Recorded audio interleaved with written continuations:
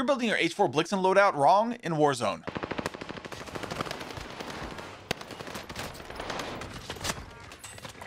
Okay, well, maybe not wrong. Because each loadout you have should be built to your playstyle. Oh. But if your playstyle is speed, this is the Blixen for you. The need for speed.